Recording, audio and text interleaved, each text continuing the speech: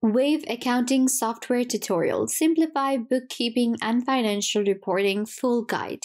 Hey guys, welcome to Wave Tutorial in which I will be showing you everything you need to know for your bookkeeping, for your accounting and more. So let's get into the video. First of all, what you're going to do is you're going to go to waveapps.com and you will land on this website right here. Wave is all-in-one platform for accounting, invoicing, online payments, and to create payrolls. Uh, with Wave, you will be able to run your business and you don't need to use a, a lot of different apps. You can get all of these options within one software and it will allow you to manage your work better. In order to get started with Wave, all you have to do is you can just simply click on Get Started and you can create an account using your email address or using Google account. Uh, so you can choose the free plan as well to get started. Now, after the initial sign up, you will land on this dashboard right here. You can see this is our basic dashboard of Wave.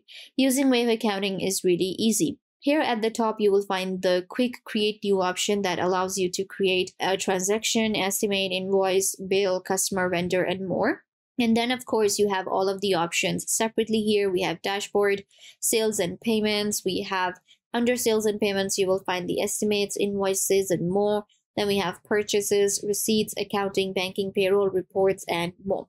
So I will show you all of these options one by one. Now, first of all, what, what we're going to be doing is we will simply go to the create new option here and you can see we have different options. We have transaction, invoices, customer, and more.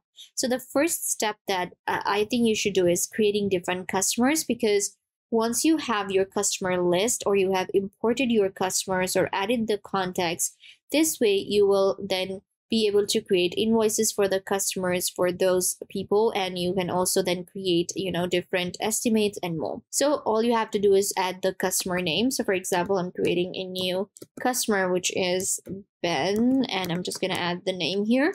Then we have the first name. So of course we're going to be adding again the first name the last name. Then we will be adding an email address. So we will go with, and we're gonna be typing in the whole email. And then we have the phone number. So this is where you will add a phone number. So uh, once you're done with this you're just going to click on add contact and your contact will be added here. Now we can actually add the billing address here. We can add the shipping for this uh, you know contact that we're creating. And for shipping as well you will add ship to you will add the shipping address. Click on save and this way your new contact will be saved and this way you will not have to create a contact manually every time. So now you can see we have created a, you know, um, contact right here. Now with this contact, I'll be able to create invoices. I will be able to then add, uh, you know, cards and more. We can edit the customer anytime we want to. So now the first thing that I will show you is how to create an invoice with Wave. What you have to do, simply go on create new, go to invoice, or you can go to sales and payments and then you can add invoices from here too. I'm going to click on invoice and, and now we will create an invoice. So uh, for the invoice, you will give your invoice the name. So I'm just going to call it invoice test for the purpose of the video. Then we have the summary and in summary, I can add whatever I want to. For example, this is like a test invoice. So I'm just going to write that here. And then we have add customer. Now that's why I told you to create different customers first. So you can see I will just select the customer that we just created. Then we have the number of the invoice, so it's one, and then we have PO and SO number. Then we have the invoice date. Now this is the date when the invoice is created, and then we need to create a payment date. So let's say the payment is for tomorrow. It's due tomorrow within one day. So we're going to be doing that if it's like maybe a week, if you want to do it like at the end of the month within 15 days within 30 days you can do that.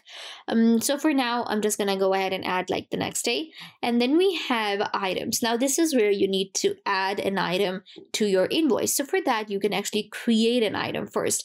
So what we can do is we can click on add an item and now we will click on enter the item name and we can see for example this item is the services that we provide. So I'm just going to write services, click on done. You can add the item description, whatever you want to add for the description. And then we have the quantity. So let's say this person got like three of these and the price for each one was 100. Let's just keep it simple. And then you will be able to see that we have the total right here. Now, if I want to add another item, I will just click on add an item or maybe they also got something. It was maybe a physical product for you. So you could just simply go ahead and add like product and then the quantity was one, but the product was maybe like 2000. So you can add it right here. Then you can also add the text here and you can add the amount uh, or you can just simply leave it. And then there's also a note here that you can add. And this will be the total amount of the invoice. Here at the bottom, we can actually create a footer for our business and we can add maybe like a thank you note or something. So we're just going to go ahead and or maybe like add the word thank you. Then we have attachment. Now this is where you can upload a file. You can drag and drop as well. So this is really important for the invoice. So you can go ahead and do that and maximum is like 20 MB. Now I'm going to click on save and continue and you'll be able to see that a brand new invoice will be created and you can see this is what the invoice looks like with wave. You can see very professional and we can see the bill too and then we can see the pricing we can see the name we can see the company's name and everything and then at the end it says powered by. So this one is actually pretty good and if i want to edit it anytime i can also do that. And now all I have to do is just like send this and it's actually sent to this email right here. Uh, so now we can create another invoice anytime. We can perform more actions like duplicating the invoice. We can make a recurring invoice. So let's say that this voice occurs every month. So what we can do is we can create a recurring invoice. So for that, what you do is you can add like next schedule so this happens monthly on the first of every month, or you can select a date. So maybe this occurs every 15th of the month. So just going to go ahead and select 15th here. And then you can see now we have create the first invoice. So the next will be on the 15th. And then we have end it, never, or when you want to end it, or you want to create it according to what time zone. If I click on next, and now what will happen is that I will simply add like get paid and I will add the payment method here and then we have the send invoice and this invoice is now a recurring invoice that I have created. Similarly, we can end it, duplicate it as well, and this is what we can do within the invoice option uh, in our Wave. So uh, after invoice, I will show you how to create an estimate in Wave. To create an estimate on Wave, what you have to do is you have to select the customer first. So we're going to go ahead and select the customer that we just created. And then similarly, we have the estimate name. We have a customer reference. So if you want to add like a reference to the customer, you can add it right here.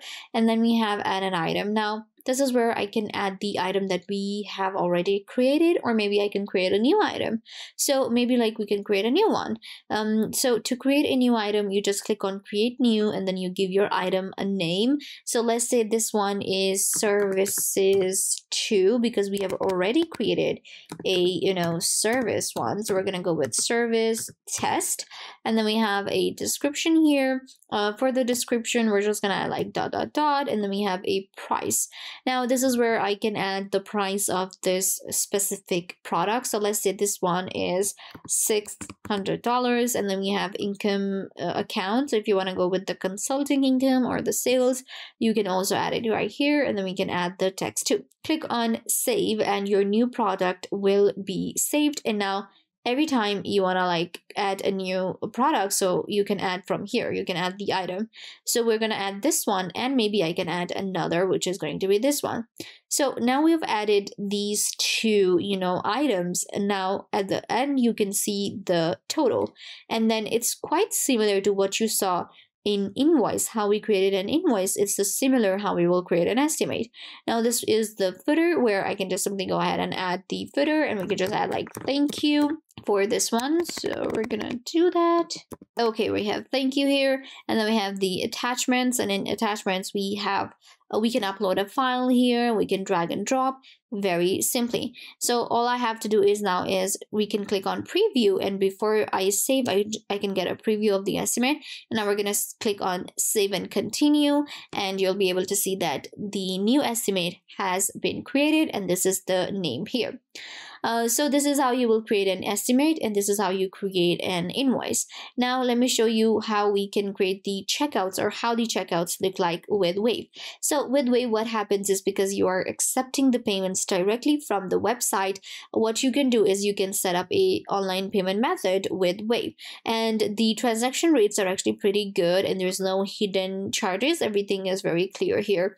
So what you can do is you can click on set up an online payment method and this is where you will be able to connect any type of payment method. You can see Wave offers all of the different uh, you know cards so you can use them here and you can see all of the different things and features that you will be given. Uh, similarly we can actually go to the customer statements. Now with customers there's also customer statement that you, you can create. So go to customer statement click on create statement and here you can select the customer first. First so for example we're going to select the customer that we created and then you can add outstanding invoices or account activity. So i'm going to go with this one click on create statement and now you'll be able to see that a statement will be created according to the invoices and the estimates and where this you know specific customer was involved uh, now, next we have, so this is all under the sales and payments, the, the first option uh, within your Wave. So you can see under sales and payment, we have estimate, invoices, recurring invoices. I showed you how to create this one.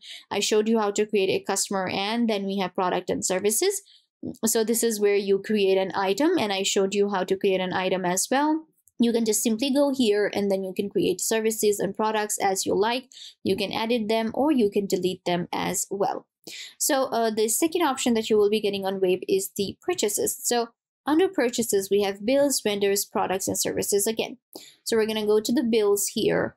And this is where you'll be able to create billing uh, for different customers and you'll be able to get all the information. In order to create a bill, you just have to click on create bill. And now this is where we will create a bill. First of all, they say choose a vendor. So before you create a bill, you can actually create a vendor. So for that, you can actually create it from here, or you can go to the vendor option here. I'm going to click on add new vendor and enter the vendor name. So for example, we have this name. Then you can add an email address. You can add the first name of the vendor. You can add the last name. And then you can select the currency and you can add the additional information as well. Click on add vendor and a new vendor will be created. So the first step is select a vendor and then we have select the currency. So you can select any currency here. We have bill date and due date. So the due date i'm gonna change it to tomorrow and then we can add an item. So here we can create a new product. So again under purchases we have vendors and then we have product and services. So you can create products and services at first then you can create a bill.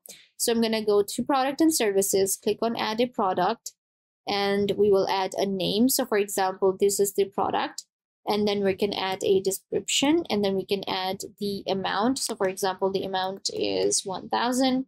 Click on save, then a new product will be created. So now a product has been created here.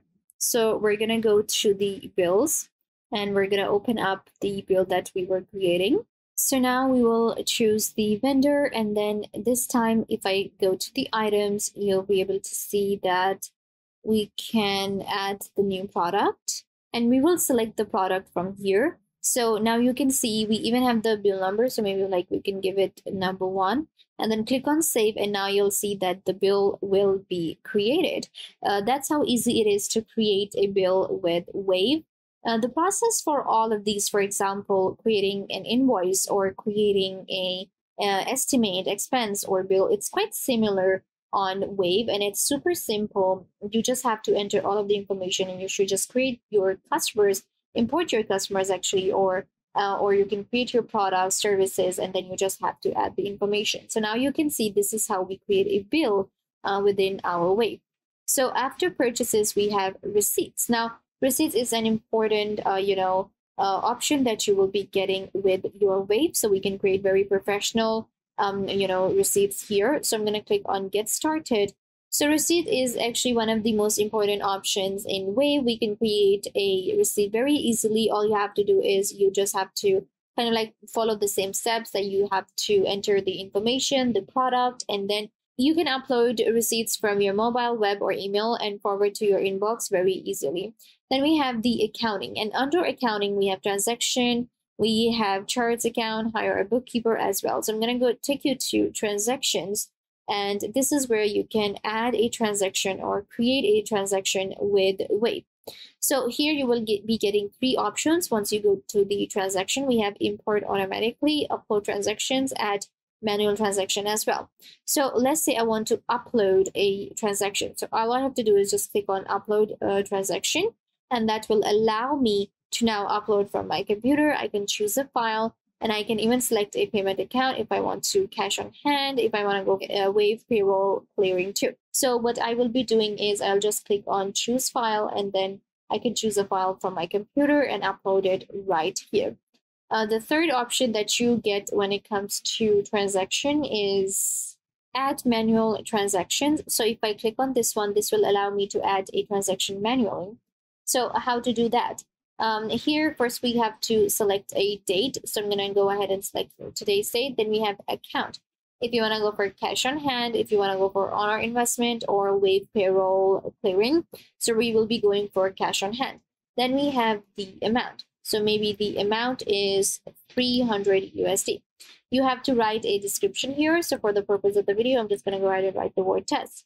Then we have type. So type is withdrawal or deposit. So this one is actually deposit. So we're going to select that. Then we have the income, where it's coming from, whether it's a refund, if it's assets account, liability account, equity account, or more. So for example, this one actually comes from a invoice that has been received. So we're going to go ahead and select that. And then we have the notes. So in here, I can add any type of note for my transaction, especially in Wave because you will have, uh, you know, different team members here. So you can add this note. Then we have the receipt. So in receipts, again, you can select the receipt from your computer or you can select from the receipt that you created uh, within your Wave. Once you're done, you're just going to click on save and now you can see your transaction will be created. You can see here, I can create as many transactions as I like. If I click on more, I will be able to connect to bank or I can upload a transaction. Uh, then we have, you can see under accounting, we have banking, and this is where you can find your connected accounts, payouts, and insurance. So you can check out these options here. Then we have a payroll. So let me take you to the payroll dashboard on Wave. So this is our payroll dashboard within our Wave. You can see we have the user management. Then we have the payroll settings. So what we can do is uh, we can also see a bunch of different things here. We can see our business profile. We'll be able to see the pending account. Uh, after that, we have the reports. Now, report is um, very essential when it comes to a bookkeeping and accounting software. So uh, with reports uh, within our Wave, we get the reports for our financial statements where you'll be able to see the profit and loss, balance sheet, cash flow. In taxes, you'll be able to see the sales tax report, in payroll, you can see your payroll report. So each section has been divided to make it convenient for you to access your analytics and reports. And you can even download the, the reports or import them or even send them to an email. Then at the bottom here, you actually get advisor, which is a really good option available for beginners. So if you feel like you need help, then you can avail this, uh, you know, option. And at the bottom here, you will be finding your tax filling which is also uh, related to the advisors where you will be able to get all the information. So what we can do is with the Wave, uh, you can set up your account, you can set up your payment method, and then you can get started. And within your, uh, you know, main dashboard, you get all these different options. You can create invoices, you can connect to your bank account, and more. So with all of these features, you might wonder what is the affordability of this platform. So let me show you the pricing plan. The pricing plan for Wave is pretty simple. If I switch to the annual pricing, then there is a starter plan, which is completely free, which is $0, which is pretty good. And then we have a pro plan, which is recommended. It is $170 per year if billed annually. And uh, with this plan, you can actually save up to 22%. And with the you know pro plan, you will be getting more options here. So you can go ahead and check out Wave. You can simply go to next.waveapps.com and you can choose the plan of your choice and then you can avail all of the different features and tools that I showed you. So yeah, guys, this brings us to the end of the video. I hope this video was a big help to you. Don't forget to give it a big thumbs up, leave a comment down below, and subscribe to the YouTube channel.